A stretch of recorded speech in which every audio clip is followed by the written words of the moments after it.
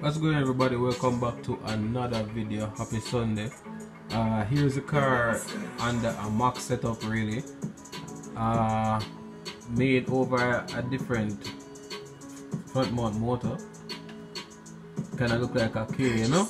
Yeah man. Anyways, that's just for look cosmetics. Um, overall you can see the difference right now. Cut out the side windows, the front one because I want more air to go through the car because I plan to do some work to it to stabilize the frame. So you can stay tuned for that as I've been saying before because I know have some ideas and thoughts. A friend of mine from also YouTube he has a channel on YouTube as well and also on Instagram Doug's Garage. He gave me an idea of to upgrading my ESC in which I'm going to do. Because this ESC that I'm running right now it doesn't have boost it just has um, timing. So I can change the timing and the punch settings really. But you know there, there's more out there there's better out there. This one was just one I picked up you know when I was kind of new to the hobby because let me tell you something guys. This is kind of new to me the fact that I work on actual cars before. But to actually you know come into this field of things and this hobby of things you know.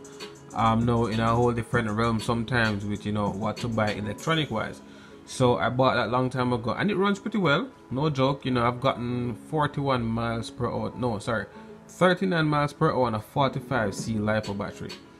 So it's not that bad. When I have a bigger burst it, it gives me good times as well but now I made a modification to the cap pack. But if you watch my previous video on that I explained that so yeah this is what it is. I'm trying to now get everything light because again I want to use the max of port weight ratio to really get this car running some good times.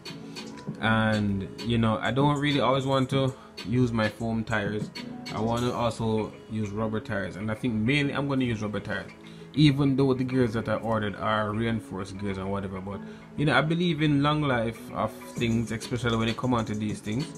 So whether it's a bigger car or a smaller car this type of stuff you know we still need long life in it because you know we want to have fun with it. We don't want to always keep you know buying parts we want to more. Be having it on the track testing and tuning and the fact that you know sometimes when you know you have the car if it keeps breaking down or, or breaking you know you don't really get that time to really dial the car in you know?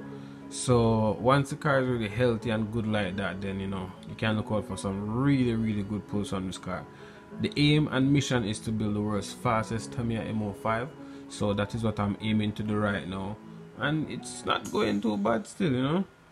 Just trying to use my brain now to get things up and running properly so like share and subscribe guys. Leave a comment down below and let me know what you think about the build and stay tuned for more